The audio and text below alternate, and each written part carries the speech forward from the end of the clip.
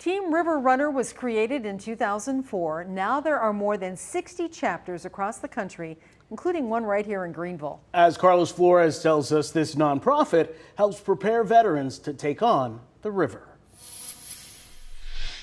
Team River Run is allowing veterans to tackle mental challenges in a new way, one paddle at a time. Members of the Greenville chapter of the River Runner organization were getting some practice in at the Prisma Health Center before their next trip out on the water. For chapter coordinator Chad Jones, these practices are just one step on their journey. The River has a very powerful influence on them.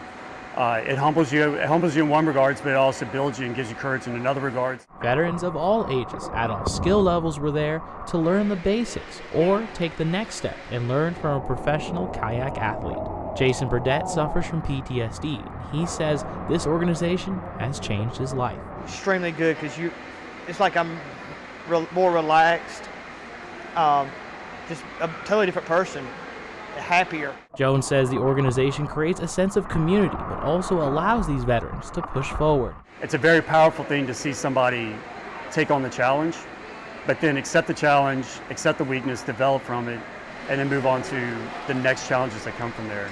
And it's, in a way, it's a huge therapy for a lot of these people. But none of this healing is possible unless you take a crucial step, picking up the phone. The fear is what holds you back. You have to, it's, it's, that's a hard call to make, but it's very well worth it in the end.